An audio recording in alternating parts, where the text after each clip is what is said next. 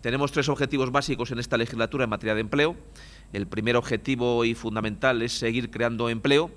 Esta es la gran prioridad de esta legislatura, no solamente en el ámbito de la Consejería, sino de toda la Junta de Castilla y León. El presidente Juan Vicente Herrera dijo que esta legislatura tenía que ser la legislatura del empleo y planteó como objetivo alcanzar el millón de personas ocupadas en Castilla y León eh, antes de acabar la legislatura o en la presente legislatura. Eh, eh, esta tiene que ser nuestra prioridad. Lógicamente venimos de una crisis económica muy grave. La mala noticia es que todavía hoy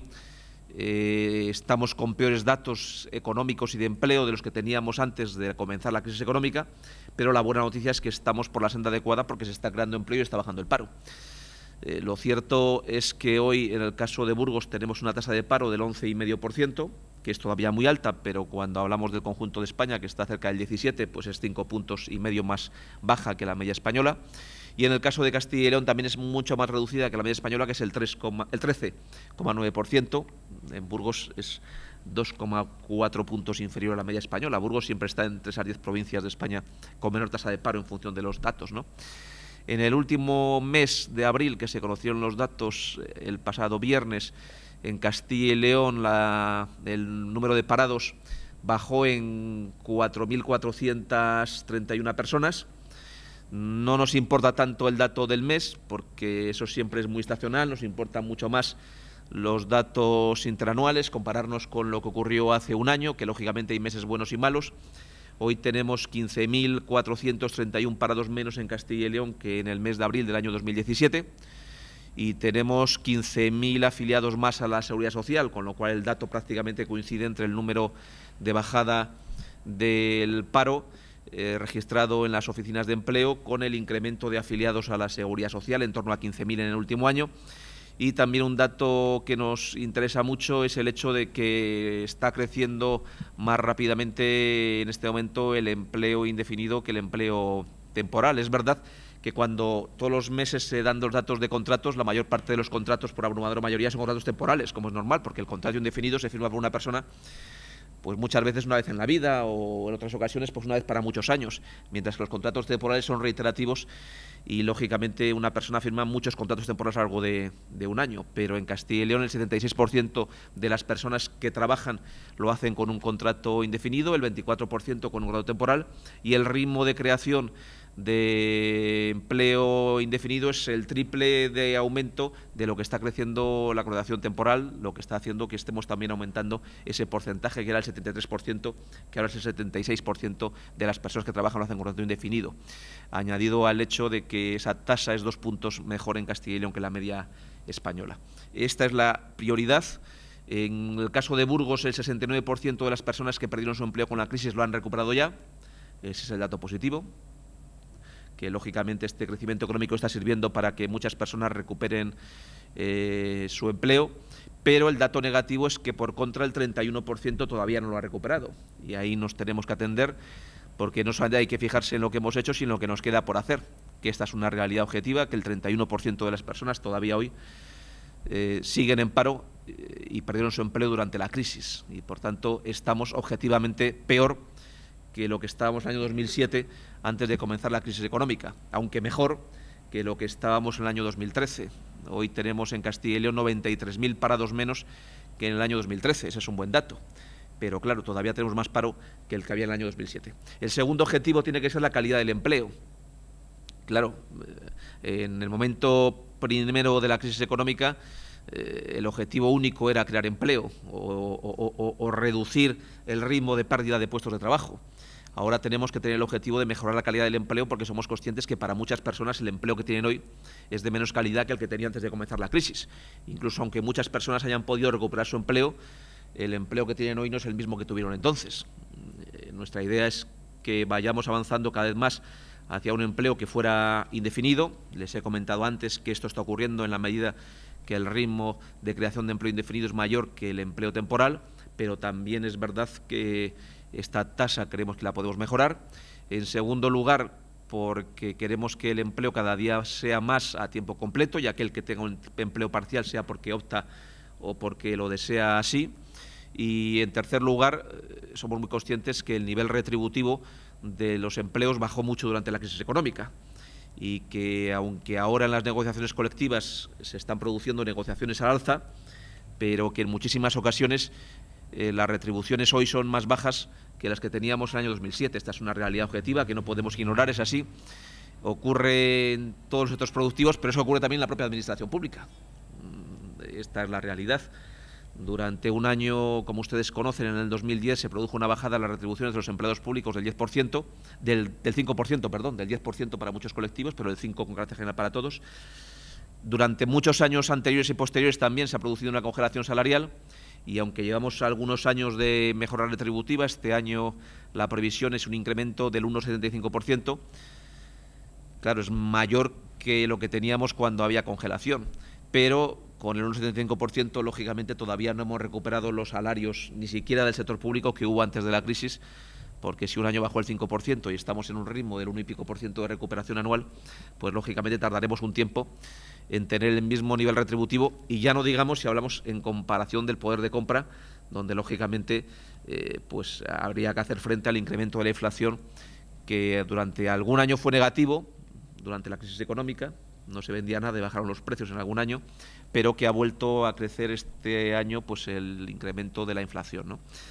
Este tiene que ser un objetivo básico para nosotros, la calidad del empleo. Y el tercero, y con eso acabo, es que somos muy conscientes que a medida que bajamos el paro,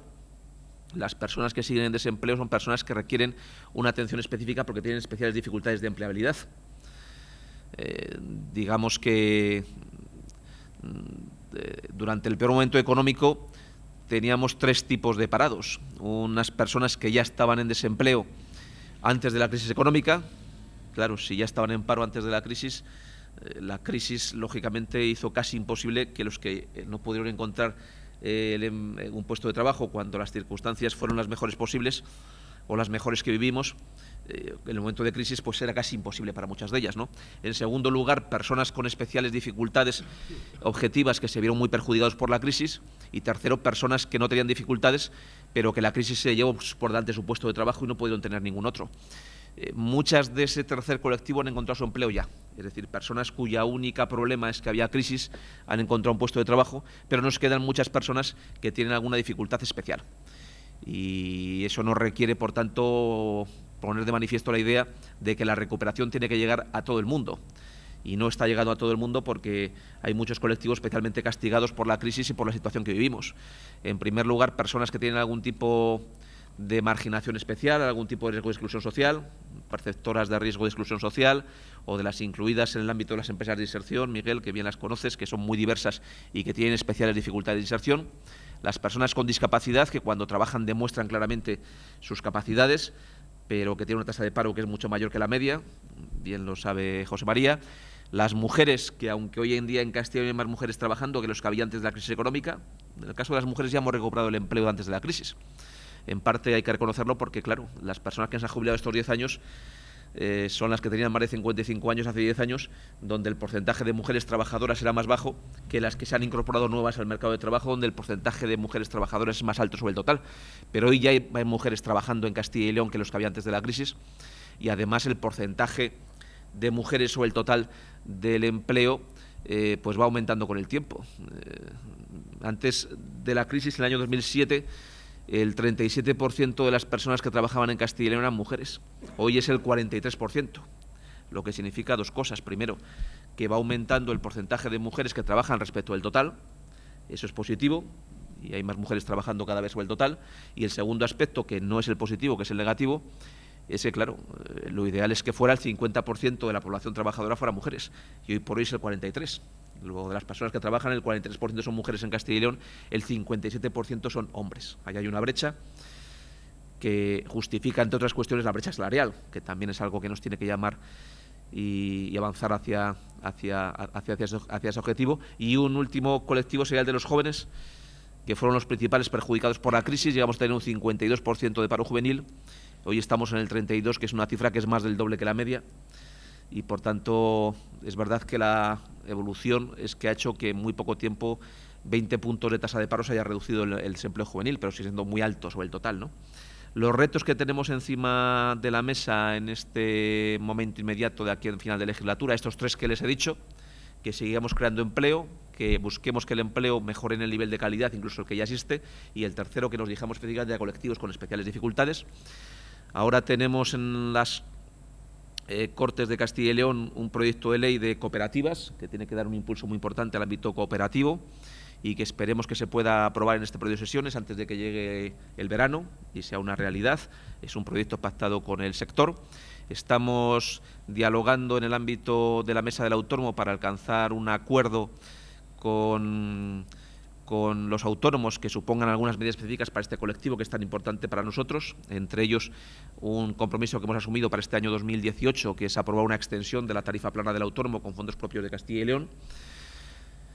Tenemos encima de la mesa completar los objetivos en relación con los centros especiales de empleo, que han sido muy ambiciosos en esta legislatura y también con las empresas de inserción y que nos gustaría culminar todo lo que hemos asumido y que se pueda hacer realidad. Y eh, en el ámbito general, pues tenemos encima de la mesa el cumplimiento de los acuerdos del diálogo social para, para este año 2018 dentro de nuestra estrategia de empleo que llega hasta el año 2020, pero los acuerdos que han dado lugar a nueve acuerdos el 13 de febrero. Claro, si, si, si somos casi prácticamente de las pocas comunidades autónomas que llegan a acuerdos en el ámbito del diálogo social, es que han sido nueve. Eh, en materias tan diversas como el empleo, para el plan de empleo del año 2018, en el ámbito de la formación profesional, en el ámbito de la inserción de las personas inmigrantes en Castilla y León, en el ámbito de la dependencia para seguir impulsando mm, y mejorando la aplicación de las políticas en materia de dependencia en Castilla y León, en el ámbito de la conciliación, donde hay un acuerdo en materia de conciliación que da lugar para que este año nos planteemos presentar ante las Cortes para su aprobación, antes de que acabe la legislatura, el primer proyecto de ley de toda España en materia de eh, conciliación de la vida laboral y familiar y eliminación de la brecha salarial.